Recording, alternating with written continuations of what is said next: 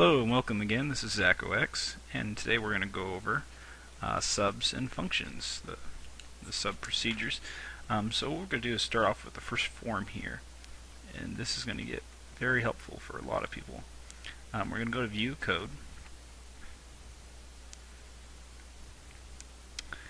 and we're going to have a form load. Now we're not going to really need to declare anything, so we don't need an option explicit at the top for declaring outside the procedures. Um, but here's how you would write a sub uh, procedure. Go ahead and start with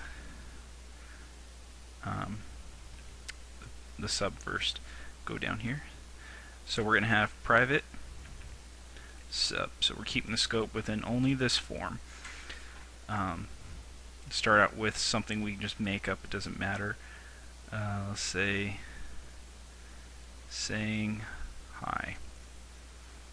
And then you need to have open and close parentheses there. Just hit enter and it adds in sub for you. Um, what we're going to do here is just put say on screen message box hi okay now in this form load, we can call that procedure um, just simply like this.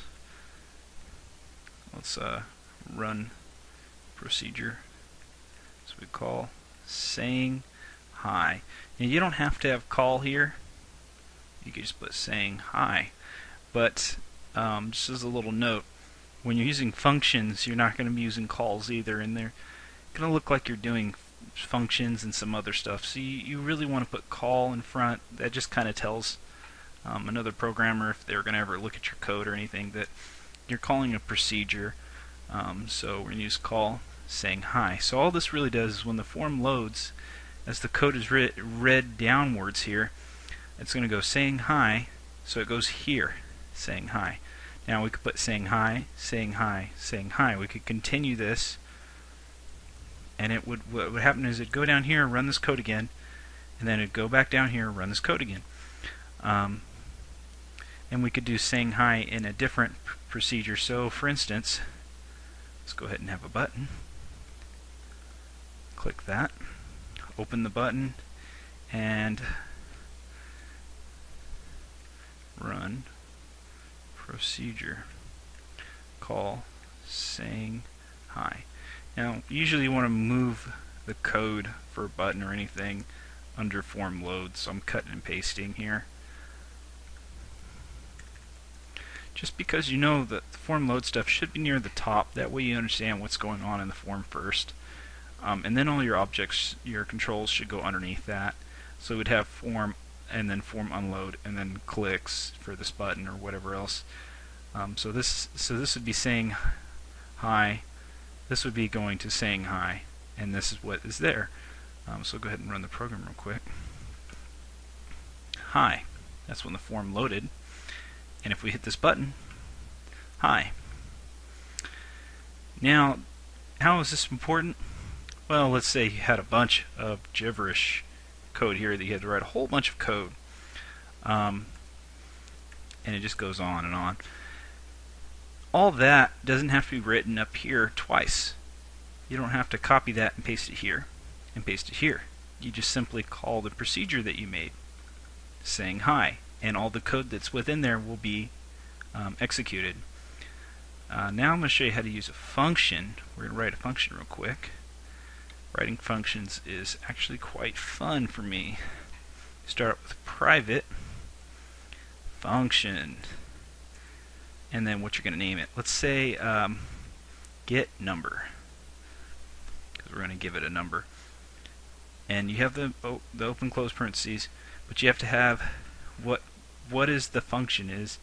Um, you're, you're trying to get a return value, so it needs to know it's going to be an integer. You're going to return an integer. Um, try not to get lost here. I'll try to help you out.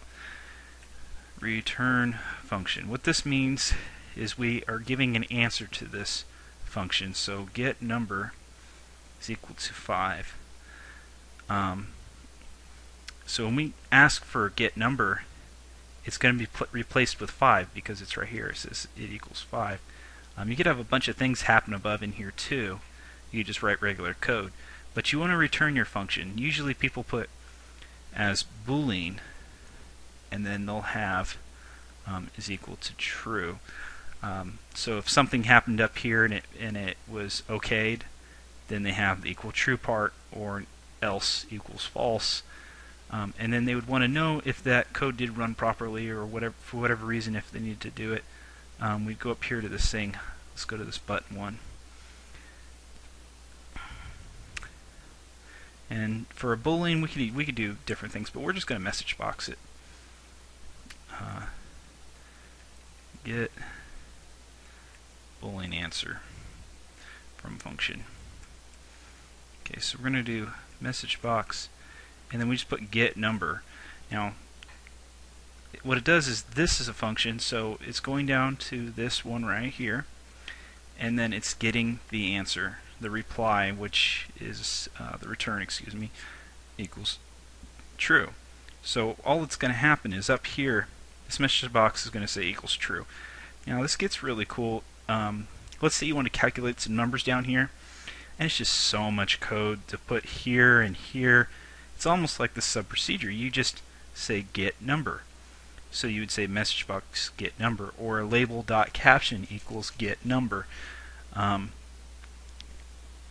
so in here, this really becomes critical because if you need a function for whatever reason, if you're creating a video game or whatever, um, you don't have as much code. You're just calling one um, function or one procedure right here. Uh, it's very helpful. now, if you have any questions or anything, just go ahead and pass them up. Give me any comments, anything like that. Um, I'm trying to make th these videos shorter just because the upload time and having to divide the video gets to be a little bit of a pain. Um, so as I make these videos short, I still kind of try to stick to the point. I go real quick. Um, if you have questions, please ask. And anyways, thanks again, and I hope that this was enjoyable for you. And until next time.